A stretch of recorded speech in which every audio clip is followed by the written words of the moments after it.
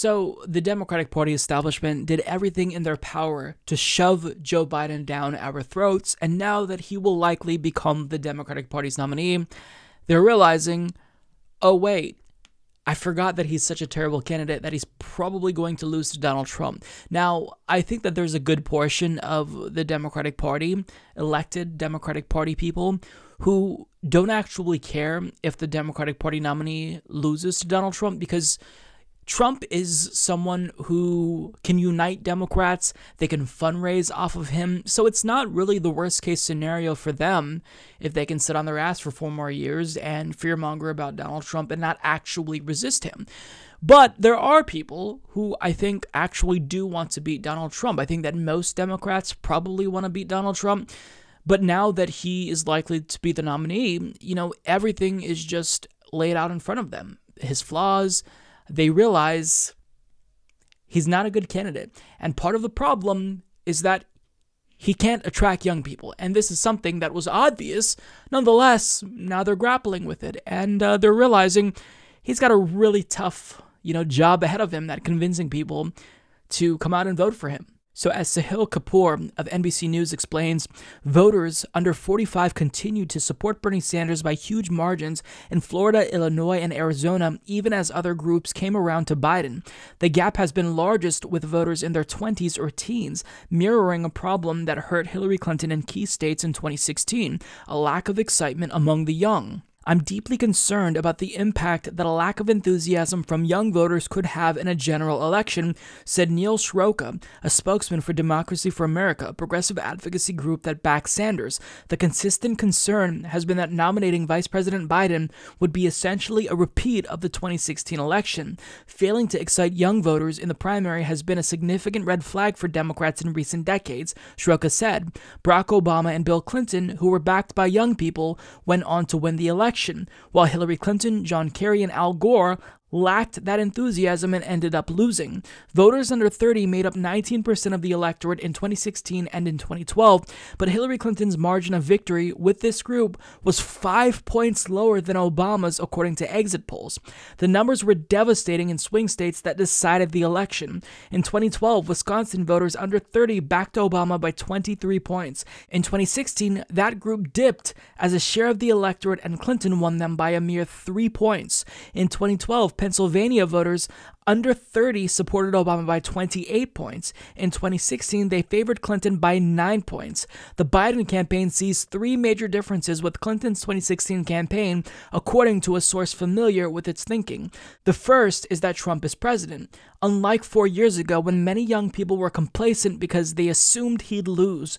The second is that Biden's 2020 platform is more progressive than Clinton's was in 2016.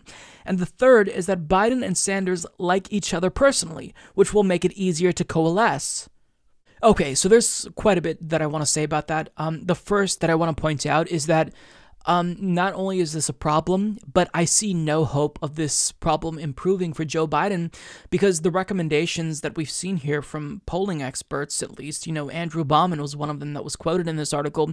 The things that he recommends aren't going to suffice. So he says, look, if Joe Biden were to adopt some of Sanders' policy proposals, like anti corruption measures, really go, you know, um, full force focus on climate change, or if he had a meeting with Sunrise, maybe that could help. Um, let me just say firsthand, as a millennial, that's not going to help. And the three differences that his campaign cites, like he admits that this is an issue, but the reason why he thinks that he's in a better position than Clinton is because, well, there's a number of factors here. Trump is president now, so that might galvanize the Democratic Party electorate, including young people, to come out and vote for him. Except there's an issue with that line of logic. Now that Donald Trump is the incumbent, there's no fears about what he could be. We know what he could be. We've dealt with him for four years. So that effect to galvanize voters, I think, has diminished since 2016. Because in 2016, we didn't know what to expect with Donald Trump. Would we look like fascist Germany? Or would we see just another George W. Bush esque Republican, neoconservative, um, xenophobe who, you know, is fear mongering about immigrants and is uh, dog whistling left and right. What is it going to look like? Now we know what that's going to look like. And the problem is that young people know that Joe Biden isn't going to improve their lives. The same conditions that led to Donald Trump's electoral success will remain present after four years of Joe Biden. So I don't actually think that Donald Trump is going to be as good of a mobilizer as they're thinking. I mean, don't bank on this. Sure, it's going to encourage some people to come out, but it's not going to be everything. Now, the second thing they say is that Joe Biden's platform is actually more progressive than Hillary Clinton's. Now, that's technically true, at least when it comes to healthcare, because Joe Biden is openly supporting a public option. Hillary Clinton wouldn't even admit to supporting a, a public option or agree to support a public option more specifically. So he's to the left of her marginally. But the problem is that, like Hillary Clinton, Voters by and large don't know what his platform is because he doesn't talk about policy. It's always orange man bad, Republicans bad, and voters want to come out and will only come out to vote for something, not vote against someone.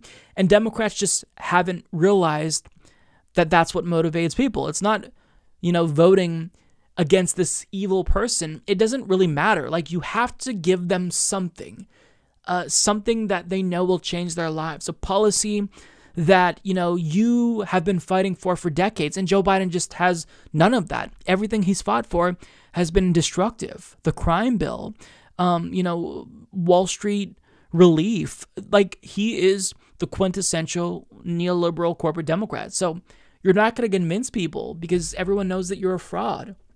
So, you know, when it comes to the public option, even though he's to the left of Hillary Clinton on that. He supported a public option when he ran with Obama and they didn't even propose it. So the question is why are we supposed to believe that you've changed your mind when the health insurance industry has been betting on you to be successful and to save them from Medicare for all? Like you're in their tank, they're raising money for you, they're donating to you. So why should we believe that you'd even go so far as to even give us a public option? We don't. And that's a problem. Now, the last thing that they say is that um, Biden and Sanders like each other personally. Yeah, I couldn't care less. I think this is a non factor. Bernie Sanders can say how much Joe Biden is his friend over and over and over again, and it doesn't make me like Joe Biden more. It actually makes me like Bernie Sanders less. Literally. That doesn't matter. Voters don't care about friendships in Washington, D.C. Couldn't care less. But that's not to say that there isn't something that Joe Biden can do. An extreme measure he would never consider, but something that would theoretically help him win over young voters. And he's not going to like this, but if you really want to win, you can't win without young voters. And Kyle Kulinski tweeted this out The only way Joe Biden can earn my vote in the general election is to pick Bernie Sanders or Nina Turner for vice president. Sign the petition for that here if you agree with me. Now, I'll link you to his petition.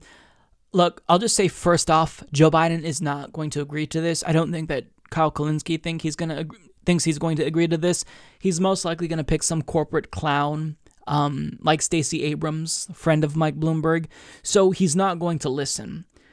Uh, but if in a hypothetical situation he chose Bernie Sanders as VP, to me, that wouldn't necessarily matter as much because he's still president and Bernie wouldn't really. I mean, maybe he'd influence him to a degree, but it doesn't matter. But if he picks Nina Turner, for me, I would vote for Joe Biden in that very statistically unlikely circumstance. Why? Because, look, here's the thing. He can say that he supports some of Sanders' policy proposals, but that doesn't matter. Like, I don't even think it's necessary for him to say, I, you know, will fight for this policy or that policy that Sanders supports. It doesn't matter because we don't believe you. Like all these financial contributions you are taking from every special interest, the military industrial complex, health insurers, big pharma, it doesn't matter. So we don't believe you. So any policy concession that he makes will not be enough. However, if he were to choose Nina Turner as VP, that would give at least me a reason to vote for him. And I don't speak for everyone. I'm sure people still wouldn't come out and support him. But the reason why I could justify voting for Joe Biden in that instance is because that gives us a chance at a progressive president in the future. If you pick Nina Turner, that sets her up for a presidential run in 2024, 2028. And that's good. Because currently, progressives are so down and demoralized because there's no successor to Bernie Sanders. Who's next? I can't think of anyone. Anyone that wants to run or is eligible to run. AOC probably won't run. She's not going to want to do that, you know, for decades. So who's going to carry the torch?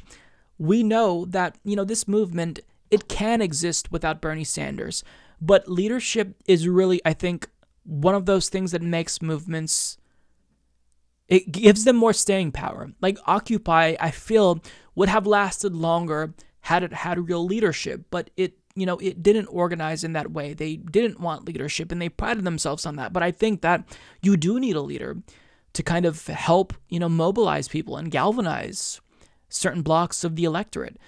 And so if we're able to look to Nina Turner, who I think would try to influence Joe Biden and wouldn't sell out, I think that that is one way that he could win over young people. One of the only ways. Now, I will say this he may just be unable to win over young people. That's a possibility. It's probably the most likely scenario because they just don't believe him. So, young people, they have to put up with voter suppression, voter ID laws. They're not going to pay the cost to vote if they don't feel as if there's going to be a high enough reward. So you've got to you've got to make sure that they feel as if it's worth it to vote for you. And Nina Turner as VP, if she would even want to do this because he's a horrible person, that would be the only situation that I could honestly see people getting out to vote. Now, I do think that more voters would respond if Bernie Sanders was VP, but if you're giving me the choice, I would pick Nina Turner because Bernie's not going to want to run for president after Joe Biden. I don't think he's going to want to run for president again. And we need someone in the executive office who's a leader. Nina Turner is young. She is the most trusted among progressives nobody else can really carry the torch. Now, I'm going to say that I think that she should run for president in 2024, 2028, regardless if she's VP, because media propped up a mayor from, you know, um, South Bend, Indiana, and told us that he was qualified. So you can't say that someone like Nina Turner, who is a state senator, isn't qualified, because I do think that she is qualified. Um, but would this certainly help with you know the media at least in trying to take her more seriously or at least not downplaying her enough? Sure. So if you pick Nina Turner as VP, that'd give me something to vote for. Will he do this? No. I'm not going to say there's a 0% chance, but I'm going to say the chance of him picking Nina Turner is 0.001%. He's going to pick some type of corporate clown like Amy Klobuchar. But if he was serious about winning over young voters, this is something he should consider. But I don't think he's serious about winning over young voters. I think he just doesn't care because he stated before he has no empathy for us. He's told us to fuck off. He'd veto Medicare for all. So I think that, you know, he's just going to try to win without us. It's possible, but is it um, going to be a lot harder for him? Yeah, it's going to be a lot harder for him.